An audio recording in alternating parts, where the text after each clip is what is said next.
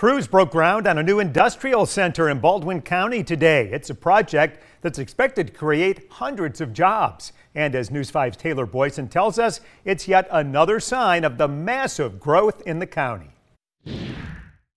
Over 900 acres of land in Loxley that many grew up knowing as a farm will soon look a little different. You, you can't fight the growth, uh, and, and, we're just in a changing market, and, and it is changing for the best. The 12 million square foot Port Alabama Industrial Center will soon be a normal sight on a drive down Highway 59 and Highway 90 in Loxley. Austin Ames with Gulf Corp is saying this is the first time this property has changed hands since the 1800s. This site is really one of the best sites in the country, much less the Gulf Coast. The Industrial Center will house businesses that will accommodate the explosive growth of the region. Fastest growing container terminal in the country, one of the fastest growing counties in the country. It's a great recipe for success. The work will be done in three phases with construction for the first phase set to be complete by the third quarter of 2025. The first phase alone is expected to bring up to a thousand jobs to the area.